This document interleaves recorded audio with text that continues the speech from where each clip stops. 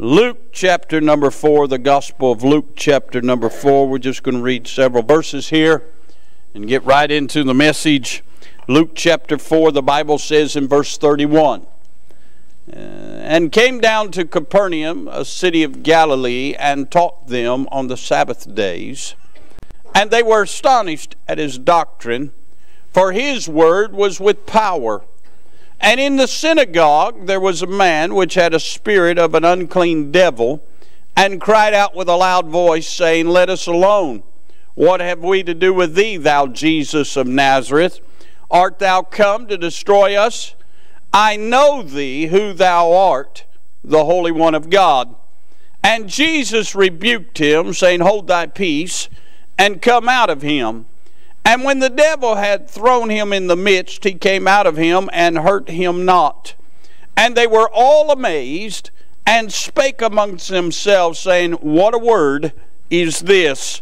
For with authority and power he commanded the unclean spirits, and they come out.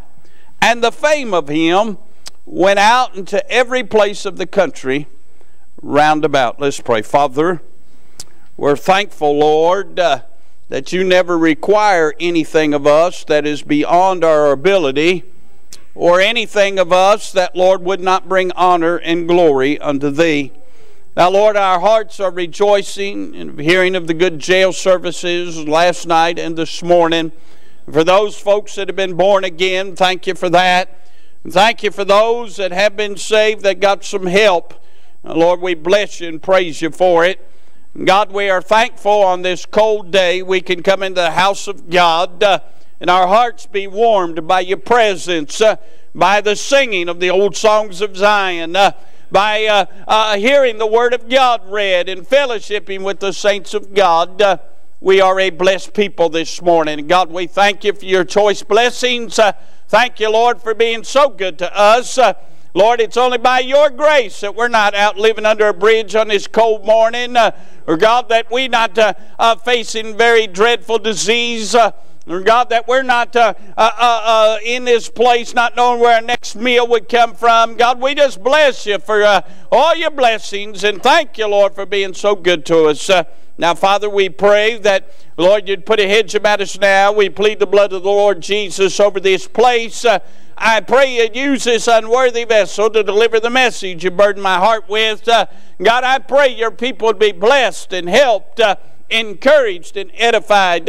God, I pray if there's somebody here this morning that's struggling, God, uh, they get a word from heaven that would encourage them and help them. Uh, God, I pray for somebody here this morning that's low, uh, that, Lord, your great mighty arms would reach way down and lift them up. Uh, God, I pray for somebody here unsaved uh, that God, you'd speak to their hearts. Uh, show them how much you love them. Uh, uh draw them to yourself and save them. Uh, God, I pray that, Lord, uh, you'd rend the heavens and take up your boat in a mighty way. Uh, God, send revival these days. Uh, melt our hearts of stone. Uh, God, break our modes of complacency. God, help us to desire you above all other things. and God, help us to see you high and lifted up. Father, I pray for those that are sick. I pray for Brother Aaron's father's having surgery. You'd be with him. Uh, God, I pray for Brother Jerry Allen's father. Uh, you'd touch him. Uh, Lord, I pray for Miss Dawn that's sick. You'd help her. Uh, God, I pray for Miss Loretta and our elderly. You'd be with them and be with Miss Loretta's prayer request. Uh, God, I pray for uh, Megan and Ryan and their family, their children. They'd get back in church, and I pray for their upcoming surgery. God, I pray, Lord, for those, Lord, that are sick and afflicted or providentially hindered, couldn't be here. I pray for them, Lord. You'd touch them and help them. God, I pray for those that could be here. Uh, God, you'd burden their heart for the things of God. Uh, now, Father, help us this morning. Uh, uh, uh touch every heart. Uh, God, get glory to your glorious name. and God, just show yourself for how great you are. We'll thank you for it. In Jesus' holy name we pray. Amen. Uh, amen. In this uh, uh, portion of Scripture, we see just one of the many times that Jesus uh, Uh, uh, will exorcise a demon out of somebody. Uh, uh, we see that it wasn't a special service had to be done. all it took was Jesus speaking the word. and can I say, hallelujah, his word still does marvelous things. can I say, these people were literally vexed with demons. can I say that is nothing strange to our day? there are people who are physically vexed uh, with satanic powers. Uh, but can I say there are also other kind of demons that haunt people? Uh, uh there are demons of the past. Uh, there are demons of regret. Uh, there are demons of addiction. it may be drugs. it may be demons of addiction to pornography. it may be demons of addiction to computers and Facebook.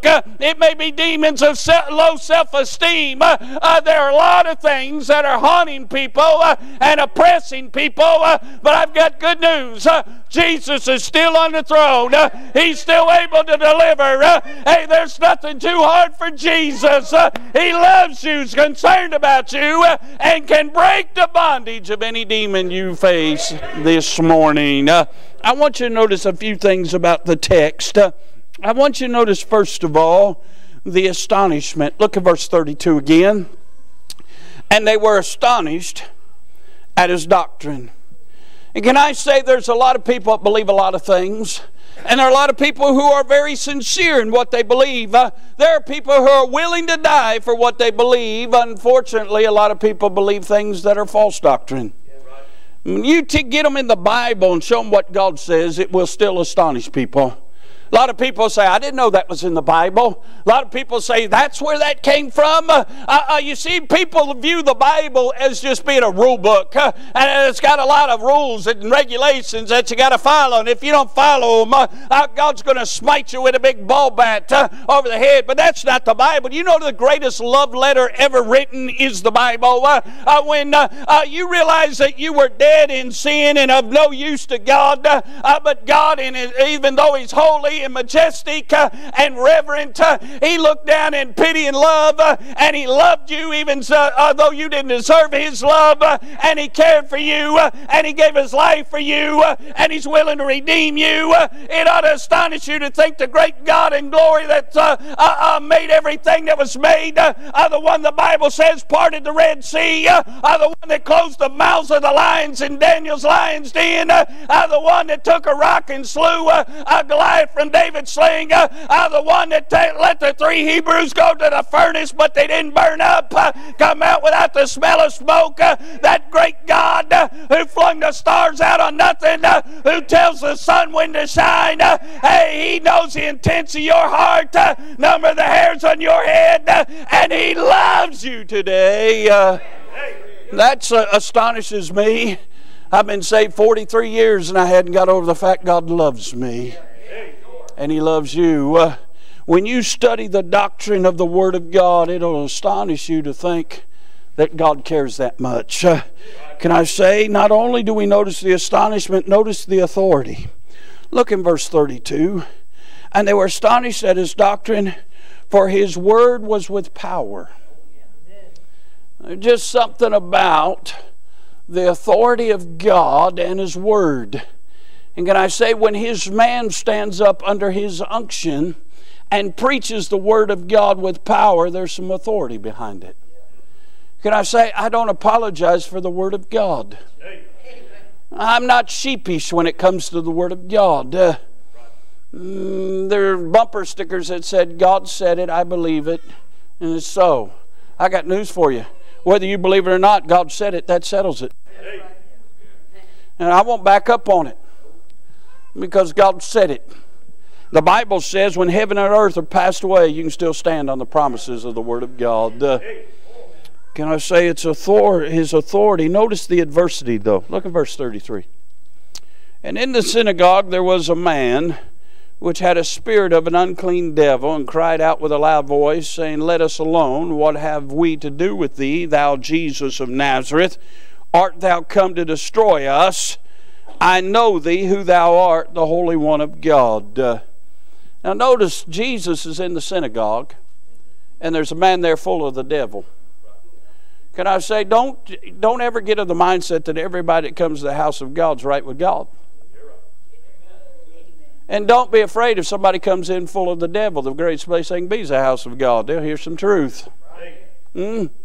But notice this man who's full of the devil. He cries with a loud voice, saying, Let us alone. What have we to do with thee, thou Jesus of Nazareth? Art thou come to destroy us? Mm, can I say there's more than just the devil? He's got legions of devil. And his little imps mess with people, and they're all afraid of Jesus. Notice he knew who Jesus was. There's no controversy here. Now, can I say you get all kinds of false Bibles out there? They'll tell you Jesus wasn't the Son of God. They'll tell you that Jesus was just a mere man. They'll tell you he was just a religious man and a religious leader. There's no shortage of opinions on who Jesus uh, is or who he was. But notice the devils know who he is. Mm, the devil says uh, that he's the Holy One of God. And I say he is. Uh, He's Alpha Omega, the beginning and the end. Uh, he's the Lion of the tribe of Judah. He's the Lamb of God. Uh, uh, can I say He's Lord of lords and King of kings? Uh, and, and the devil himself and all the imps of hell know who He is. Uh, and we ourselves ought to fear and reverence who He is. Uh, we not only see adversity, notice that acknowledgement Thou art the Holy One of God. Do you know who Jesus is today? Mm, say, I know who he is, but do you know him? The devil knew who he was, but he didn't know him. It's not enough to know who he was or who he is. Say, well, he's the man that died on the cross. Yep. He's the man that rose from the dead. Yep. You can know all that and go and die and, and die and go to hell. But do you know him? Have you ever accepted him as your personal Lord and Savior? Notice the admonishing in verse 35. And Jesus rebuked him, saying, Hold thy peace and come out of him. And when the devil had thrown him in the midst, he came out of him and hurt him not. Notice a couple things here. The devil didn't put up a fight when Jesus rebuked him. Jesus has all power. Jesus told him to hold thy peace. In other words, Jesus said, uh, uh, Keep your mouth shut. I haven't revealed yet who I am. Jesus even told his disciples, says, My time is not ready, but your time is always ready. There was times Jesus would do a work in somebody's life and he'd charge them not to tell anybody. He didn't want them to come out for a circus. He wanted them to come out by faith. So Jesus says, Hold your peace. Notice even that demon's glorifying God. He said, Hold your peace. And then Jesus said, Come out of him. Say, What happened? He came out. Huh? Can I say anything Jesus tells the devil and his crowd to do, they have to do it? See, people got the mindset that Jesus is this power and he's on one side of a chessboard and the devil has power and he's on the other side and we're just the pawns in the middle and there's a constant struggle and in the end Jesus going to barely win out. No, no, no, no, no, no, no. I can take you starting in Genesis chapter 3 and take you through the entire Bible. And every time the devil confronts Jesus, Jesus whips him, whips him. He leaves with his tail tucked. I mean, uh, uh, the devil's no match for Jesus. Uh, and there's coming a day when Jesus is going to command him to be thrown in the lake of fire, and there he'll be thrown forever and ever and ever. Jesus has all power. Uh, the devil's powerless before his throne. Uh, and if Jesus can uh, help this man with his demon, Jesus can help anybody with what they're facing. And then notice the amazement. Look in verse 36. And they were all amazed. And they spake among themselves, saying, What a word is this! For with authority and power he commandeth the unclean spirits, and they come out. And the fame of him went out into every place of the country round about. Uh, notice why Jesus said, Hold thy peace. They didn't come out and say, Well, the devil said he's the, he's the Holy One of God. Notice what they went around telling. They went around telling this man speaks with authority and power and commands the unclean spirits to come out, and they do. They start praising and testifying as to what Jesus does for others. Is that not what he commanded us to do? Just go tell people what he did for us. Just go tell him what garbage dump he found you in and he reached down into your low pit and pulled you out, put you on a rock, uh, uh, saved you, uh, put praise unto God in your lips. Uh, uh, uh, just tell him where you was, where he found you, what he did for you. Isn't that what Jesus wants you to do? hey, listen, Jesus don't want me to give your testimony. He wants to give my testimony. He wants me to tell you what he did for me. hey, I can tell real good about that because I know about it. I was there. hey, you just want you to tell what he did for you. he might have saved you as a child, uh, might have saved you off of a bar stool, uh, might have saved you out of a drug house, uh, might have saved you uh, uh, on the job, uh, might have saved you just being a good moral person. it doesn't matter what you were, what matters is what you did with Jesus, what He delivered you from, and who He is in your life. they were amazed at what Jesus done. Can I say these? These folks have been going to that synagogue for years. Heard old dead priests get up and give a dead doctrine. But Jesus comes in and he gives life. And they didn't get over it. And so we see the difference. Now I want you to look in verse 36. And they were all amazed and spake among themselves, saying, What a word is this! And I want to preach with God's help on that very thought. What a word is this? You know what we preach today? The very same thing Jesus preached. Mm. You know what we preach today? The very thing he gave the apostles to preach. Uh, can I say, uh, I'm thankful we got a nice building. I'm thankful the furnaces are working today, especially today. Huh?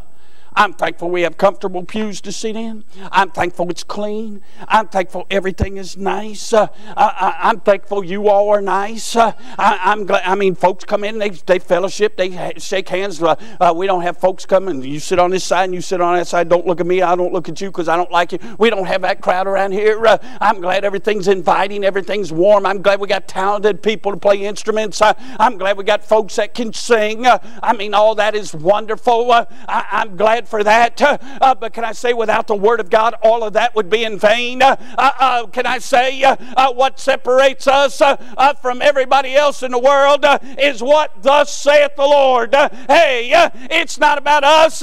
it's not about our abilities. it's not about our friendliness. it's not about all this nice stuff we got around here. what it's about is this. this is what separates us from the world. Jesus said He didn't come into the world to bring a peace uh, but a sword. Uh, uh, this word divides. Uh, uh, this word conquers. Uh, this word makes a difference. even that crowd, after listening to that Jewish priest all them years and that rabbi teach, they said what he had is mundane and normal. but when the master showed up, what a word is this? it's a powerful word. it's a life changing word. hey, what a word is this?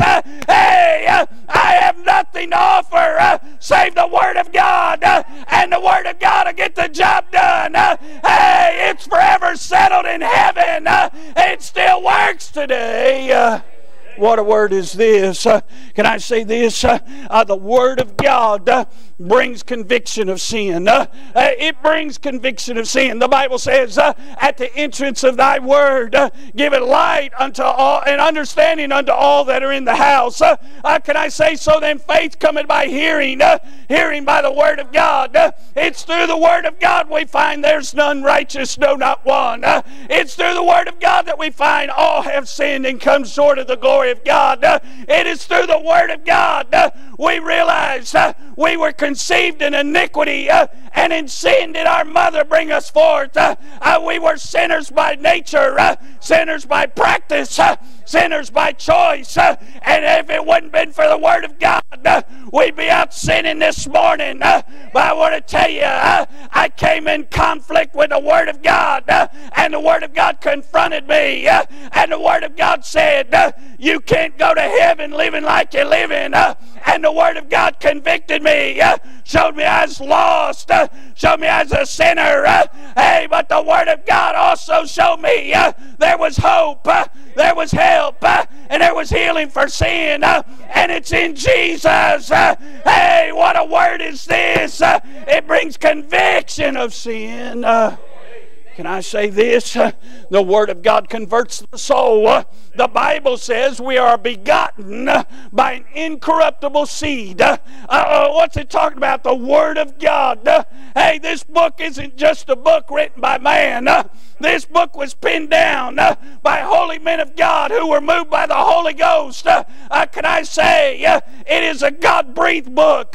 It is a book that is without error. It is infallible. It has stood the test of time.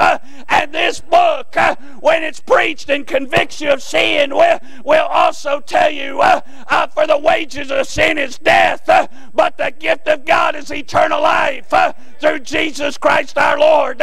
This word of God says, Whosoever shall call on the name of the Lord shall be saved. Uh, this word of God says, For God so loved the world uh, that he gave his only begotten Son, uh, that whosoever believeth in him should not perish but have everlasting life. How can I say? It converts the soul.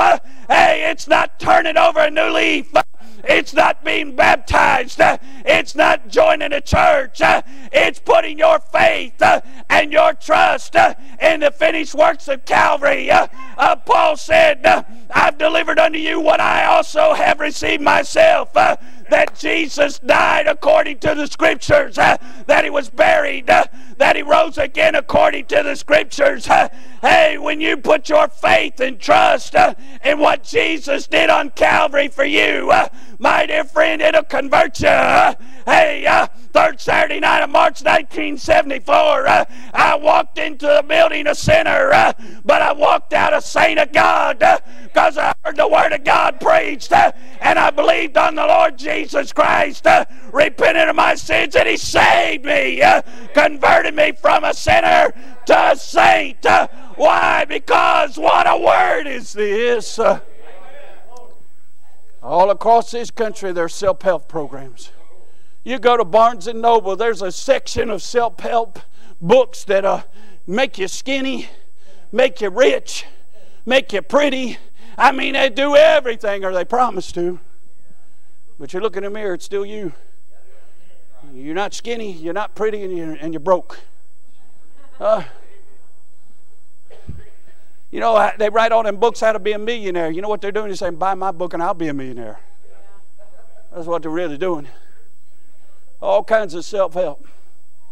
You know, our country is faced with an epidemic of drug abuse. And there are programs out there that help people deal with their past and deal with their pain and help people deal with their addiction. But the problem is, they don't change your soul.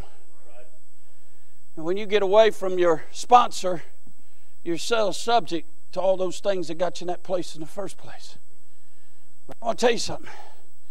If you ever meet the one that made you, he'll convert you and he'll change you. The Bible says, if any man be in Christ, he's a new creature, not a new creation, new creature. Former things are passed away. Behold, all things become new. Uh, uh, what I used to be, I'm not anymore uh, because of the blood of Jesus Christ uh, that cleansed me from every sin. Uh, hey, the appetite I used to have, I don't have anymore. Uh, things I used to enjoy, I don't enjoy anymore. Why? Jesus changed me. hey, nobody forced me to change. he changed me. Because when He moves in, the devil's got to move out. and business picks up in your life. and He'll change your desires and your want to. Uh, worst thing that ever happened to somebody is trust Jesus never get in the Bible and never change their appetite. But I want to tell you the Bible, this word brings conviction of sin and it converts the soul. Can I say something about this word? What a word is this? It comforts a troubled mind. Well, there's been times been faced with fear and with doubt struggle to get my head wrapped around things. Didn't know how things were going to turn out, but I found myself in this word. And God began to just speak to me. And oh, all that trouble that was floating around in my mind just dissipated. And all of a sudden, peace came on. hey, the, the circumstances were still the same, but you know what? He gave me help that it didn't matter anymore because I had Him. He's the one that's in control of it all anyway. A lot of times you'll be troubled. Might be troubled over a loved one, might be troubled over a child, might be troubled over your job, might be troubled over things out of your control. But I'm here to tell you if you can just get to this word, you'll find comfort for your troubled mind. You'll find He's a present help in time of need. You, you need, just need to cry like the psalmist I'll look unto the hills from whence cometh my help. You'll find help in this word. Uh, can I say what a word is this? It conforms one into the image of Christ. Can I say the Word of God, when it converts you and saves you, can I say it changes you from the inside out? But the outside still got a lot of rough edges.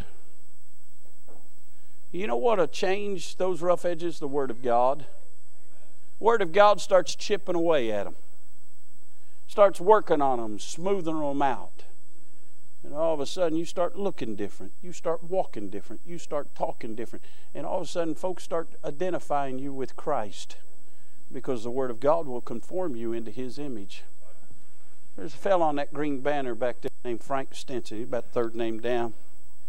Old brother Frank was a Jew. I bring him up from time to time. Old Frank used to pray if anybody in the church had a need. Maybe they just needed a friend. God lay somebody in his heart, he'd take them out buy them a hamburger. Or if he found out they had a need, couldn't afford their medication, he'd slip them a little money, get them their medication. I mean, he's just that kind of fella.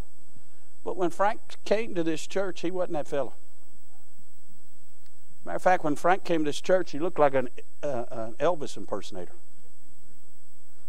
I mean, he had a big comb over that was dyed.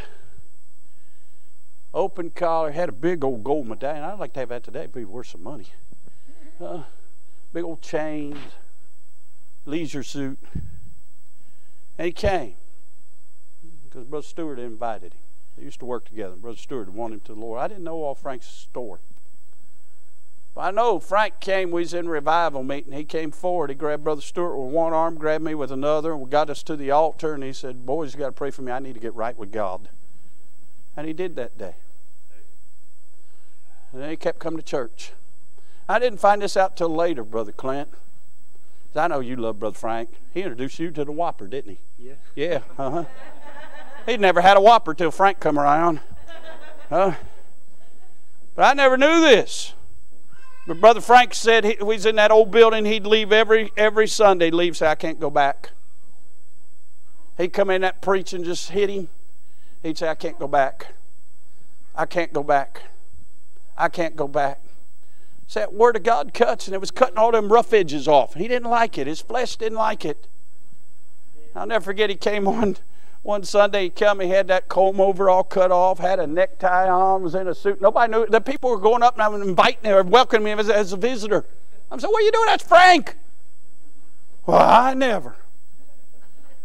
What he told me, he said he'd leave, and that word of God was cutting on him. He said, I couldn't go back. And he said, I'd go home, start reading my Bible, and God said, You need to go back. You need to go back. And he said, and finally, I, I quit fighting God, and I just let Him work on me. And he said, and he started cutting all that, that stuff off of me that I didn't need. And see, when Frank allowed God to do that, Frank became a great, great tool that Jesus used to help other people. And can I say, you'd be hard pressed to find anybody that lived a Christian life more than Frank Stinson after he let the Word of God conform him to the image of Christ. Can I say, what a word is this? It confounds the wise. Paul said, My speech was not with enticing words of man's wisdom, yet in the demonstration of the Spirit with power. He went on to say that God chooses the base things to confound the wise. Now, listen if we advertised we had some great orator here today that was going to uh, uh, come and expound on the meaning of life and use all of his education and all his years of experience to explain the hidden mysteries for all mankind. This place would be packed out. We charge admission 15 bucks a head. They'd pack the place out. But see, God didn't choose man's intellect to impress man. God chose you, dumb hillbilly, stand up, preach the Word of God and spirit and power to change people's lives.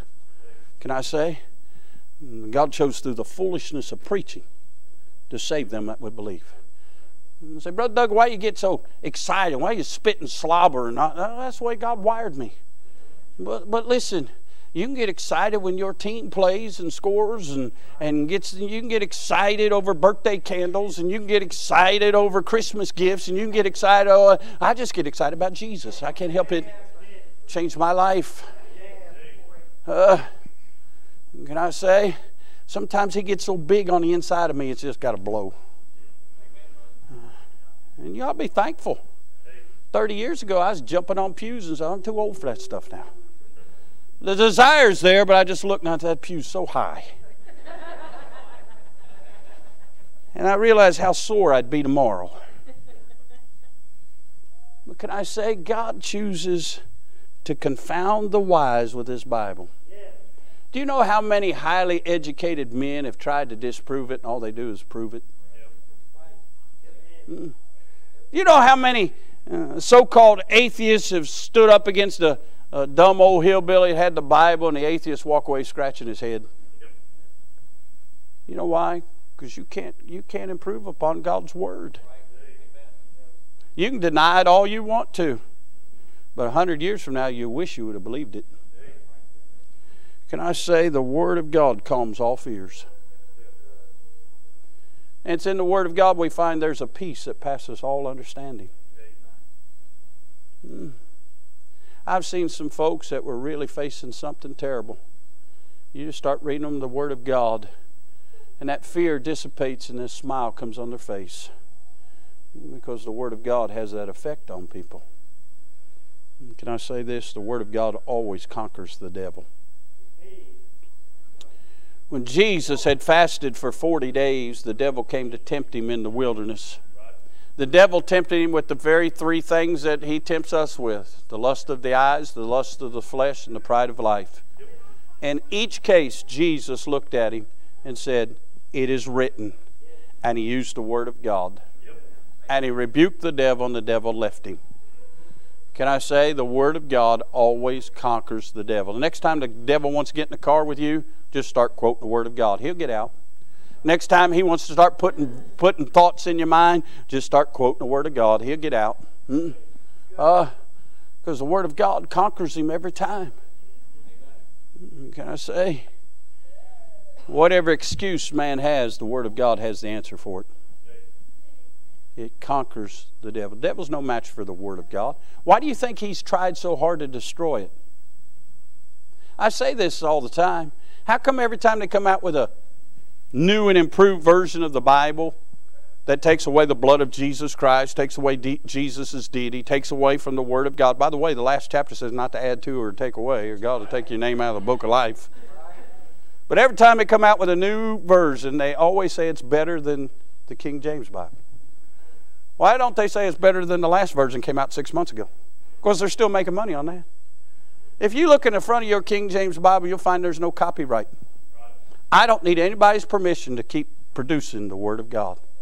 But you go get one of them new versions, you need their permission because they're making money on it. God wasn't interested in making money, He owns it all.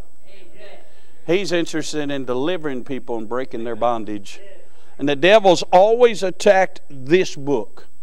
Do you realize the first uh, uh, uh, correction of the Bible, Westcott and Hort, them wicked guys left out part of the New Testament because they didn't want to see you God can deliver you. They deliberately did it, and every modern version uses their Greek text and not the original. My dear friends, what a blessing to have God's Word. Because Job says man's days are few and full of trouble. You're going to face some hard days. You're going to face some days when you feel like the devil's on your back. But God's given us the greatest tool to overcome it all. Word of God. What a word is this? Can I say this? The Word of God changes not. It changes not. It's forever settled in heaven. He's the same yesterday, today, and forever, and so is His Word. It changes not. That might not sound important, but that's important. Do you know how many changes I've seen in my lifetime? When I was born, JFK was president. I know I don't look that old. Trust me. Well, every president in my lifetime has promised to better America, but things aren't getting better, they're getting worse. We just celebrated Friday night uh, my in law's 50th wedding anniversary. And Jordan put together a video of 1968 when they got married. Hershey bars were 10 cents. They're not 10 cents anymore. You go to Pilot, you can get two of them for 333. Otherwise, they're about eight bucks a piece. Huh? A GTO Judge sold for $3,200. Now Barrett Jackson gets 150 for one, in the shape that one was in. Gasoline was 32 cents a gallon. and It went up 30 cents this week. But all the changes that have happened. You know, when I was a teenager, or just about to be a teenager, we still had our money based on the gold standard. Not anymore. That's why they can print all they want. It's not worth the, the paper they're printing it on. Hmm. It wasn't that long ago. The stock market was just trying to get over 10,000. Now it's over 25,000. But I tell you what, I don't feel like I, I'm worth more than I did then because it's inflated. I'm just trying to help you something. A lot of things change. My waistline changes all the time. Can I say things of this world are shifting sand?